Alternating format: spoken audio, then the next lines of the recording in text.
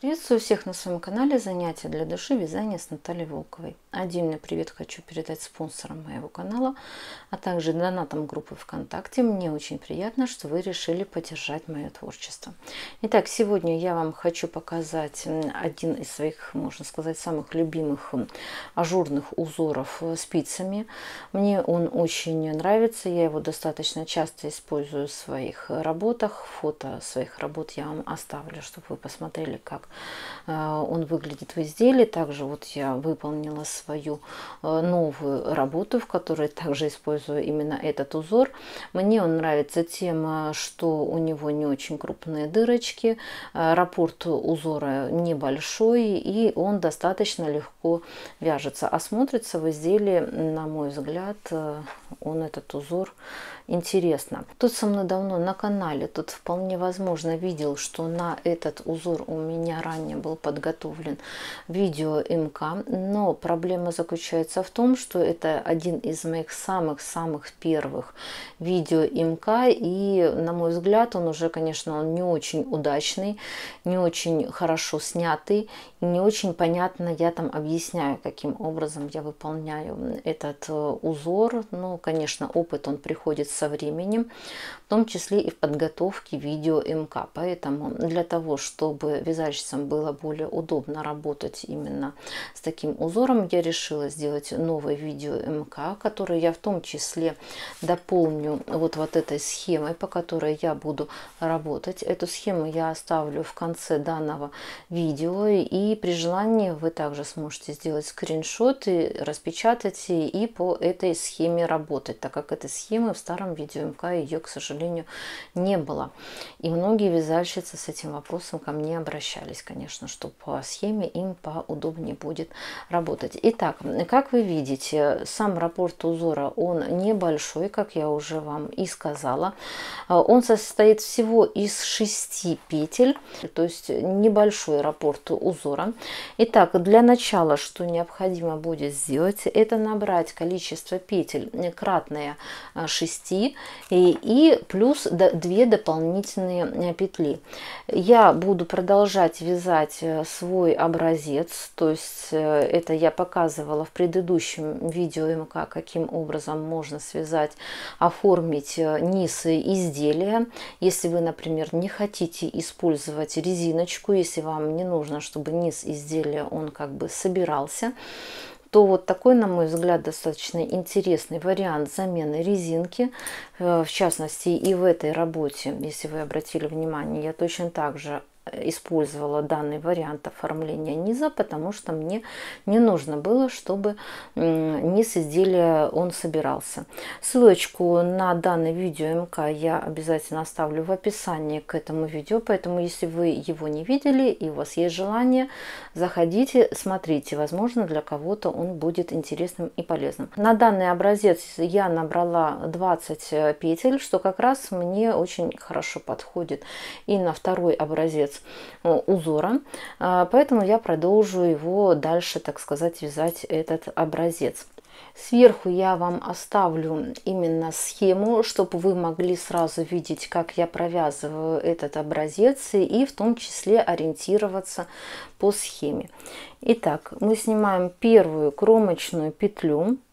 Далее по схеме у меня идет одна лицевая петля – Следующие две петли я провязываю 2 вместе лицевой с наклоном вправо. Для этого я как бы поворачиваю эти две петельки, для того, чтобы они красиво у меня были провязаны. Таким вот образом. Делаю двойной накид. 1, 2. Следующие две петли провязываем 2 вместе лицевой с наклоном влево Здесь я ничего не поворачиваю, потому что здесь у меня э, хорошо лежат петельки. То есть просто провязываю 2 вместе лицевой. 2 лицевые. 2 следующие петли провязываю 2 вместе лицевой с наклоном вправо. Двойной накид 2 вместе лицевой с наклоном влево. 2 лицевые. 2 вместе провязываем лицевой с наклоном вправо, предварительно поворачиваем эти петельки. Двойной накид, 2 вместе лицевой с наклоном влево, 1 лицевая и кромочная изнаночная. Так, вот мы с вами провязали первый ряд узора. На схеме у нас не указаны четные ряды, то есть, как вы видите, на схеме указаны только ряды нечетные, первый, третий, пятый и так далее. То есть, это означает, что следующий изнаночный ряд вы должны вязать по рисунку. То есть, я поворачиваю работу и по рисунку мы смотрим, что у нас все петли провязываются изнаночными. Но Опять же, в предыдущем ряду мы провязывали двойные накиды. Поэтому я их провязываю следующим образом. То есть вот я дошла до двойного накида. Я провязываю первую петлю изнаночной, а вторую петлю я провязываю лицевой. Далее следующие по рисунку мы провязываем все петли изнаночные, а именно 4 петли. Доходим до следующего двойного накида. Одна петля изнаночная, следующая петля лицевая, 4 изнаночные петли,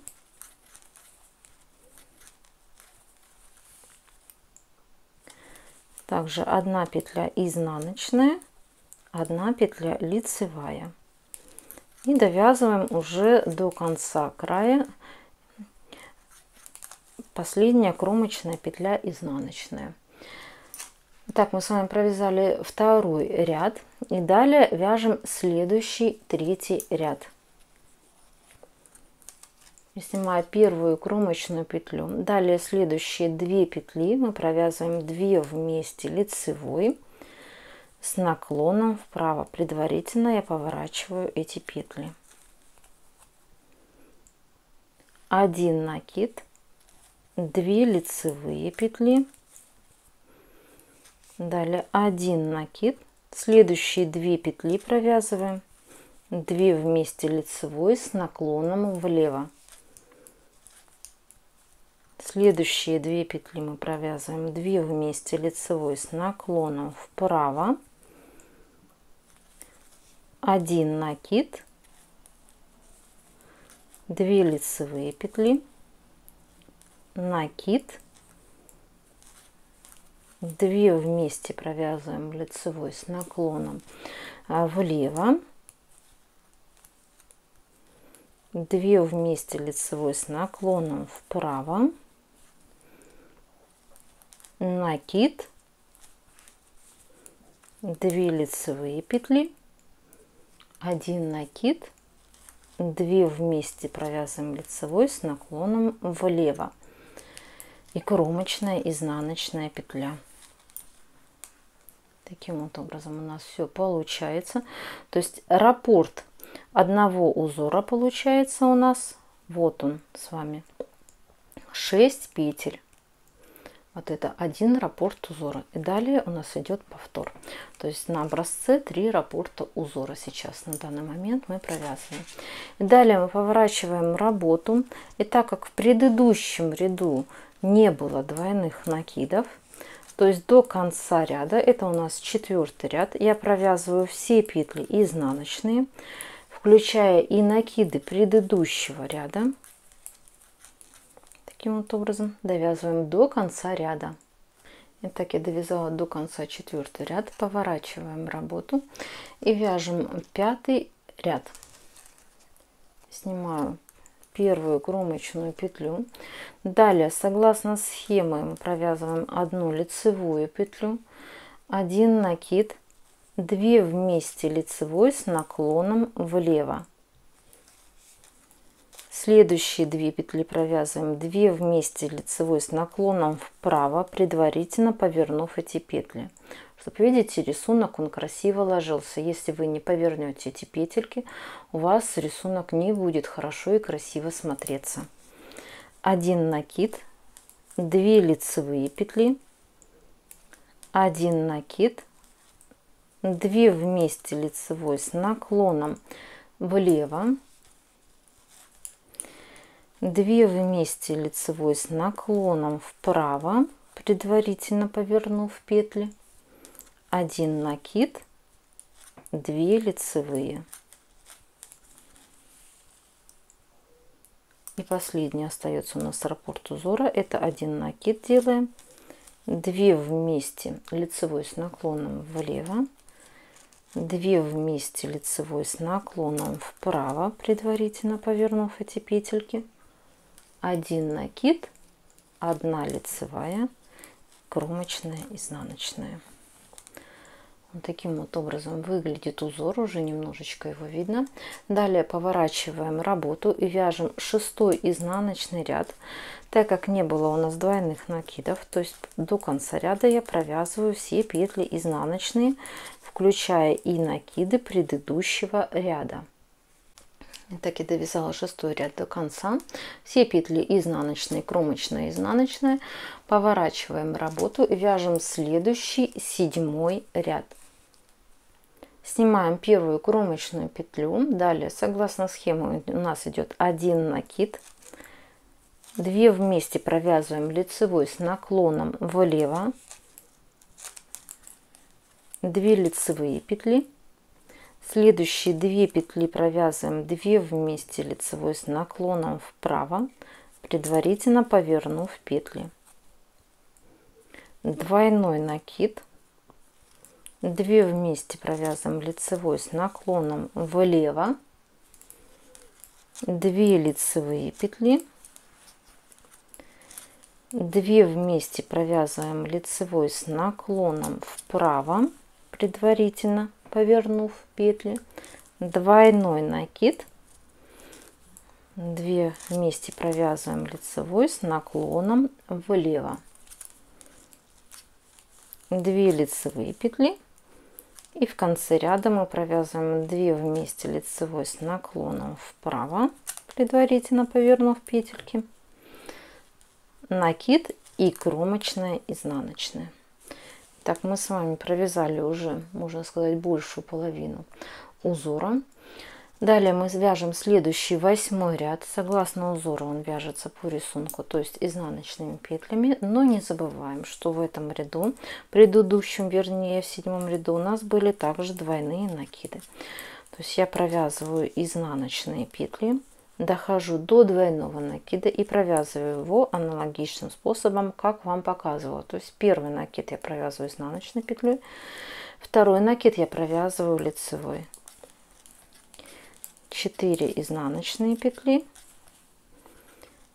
1 накид изнаночной петлей провязываю, второй лицевой петлей, 4 изнаночные петли, последний накид я провязываю просто изнаночной петелькой, кромочная, изнаночная. Итак, вот получается мы с вами провязали 8 рядов и далее вяжем следующий девятый ряд. Осталось нам провязать буквально 4 ряда.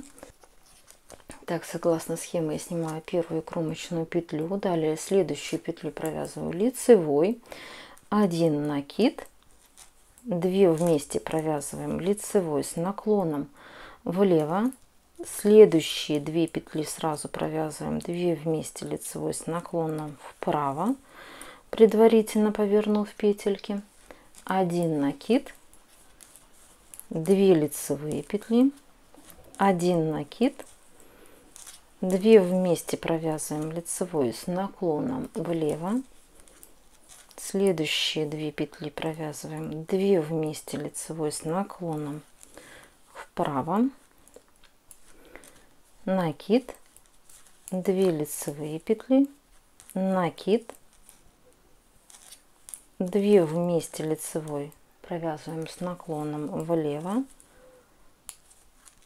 2 вместе лицевой провязываем сразу следующие с наклоном вправо один накид одна лицевая кромочная изнаночная так вот мы с вами провязали это получается девятый ряд далее мы вяжем следующий десятый ряд согласно узора все петли изнаночные и накиды в том числе Так вот я довязала 10 ряд, все петли изнаночные. И у нас осталось провязать буквально 2 ряда, чтобы закончить один раппорт узора. Итак, я снимаю первую кромочную петлю, вяжем 11 ряд, напоминаю. Согласно узора схемы провязываем 2 первые петли, 2 вместе лицевой с наклоном вправо, предварительно повернув эти петли. 1 накид, 2 лицевые 1 накид, 2 вместе провязываем лицевой с наклоном влево, следующие 2 петли провязываем. 2 вместе лицевой с наклоном вправо, предварительно повернув петли, накид, 2 лицевые петли, 1 накид, 2 вместе провязываем лицевой с наклоном влево, Следующие две петли провязываем. 2 вместе лицевой с наклоном вправо, предварительно повернув петельки. 1 накид, 2 лицевые петли, 1 накид, 2 вместе провязываем лицевой с наклоном влево кромочная изнаночная итак вот мы с вами провязали 11 ряд Далее поворачиваем э, работу и вяжем последний ряд уже э, в раппорте узора. То есть это 12 ряд. Все петли изнаночные до конца ряда. Итак, вот мы с вами провязали уже 12 рядов. Это ровно один раппорт узора. Далее э, вы начинаете вязать, начиная с первого ряда. То есть у вас идет повтор. В результате после нескольких повторов у вас получится вот такое вот полотно. Вот так вот оно выглядит. Как вы, я надеюсь, убедились, узор несложный, но смотрится красиво и интересно. От себя что хочу добавить, что э, я, как правило, для того, чтобы этот узор был более ровным и красивым, э, не забываем, что изделие необходимо потом или образец обязательно постирать, или же я, например, очень аккуратно отпариваю с изнаночной стороны. Конечно же, не забываем про температурный режим, чтобы не испортить свой образец, я, как правило, аккуратно обдаю паром с изнаночной стороны. И тогда ваш образец или изделие станет еще намного более интересным и красивым, будет ровненьким. Итак, очень надеюсь, что данное видео МК был для вас интересным и полезным. У меня остался буквально еще третий вид узора, который я использовала э, в своем новом изделии. И на следующий вид узора я подготовлю буквально в ближайшее время следующий видео МК. Поэтому, кому интересно, обязательно подписываемся на мой канал. Также не забываем, что я выкладываю свои видео в Дзене и э, в группе ВКонтакте. То есть вы там также сможете посмотреть э, мои новые видео МК. При этом э, спонсором моего канала на YouTube канале и донатом группы ВКонтакте. И я так планирую, что я постараюсь в ближайшее время подготовить максимальное количество МК, которые смогут посмотреть подписчики и пользователи, которые поддерживают мой канал в бесплатном формате. Кому понравилось видео МК, обязательно ставим лайк. Итак, до новых встреч!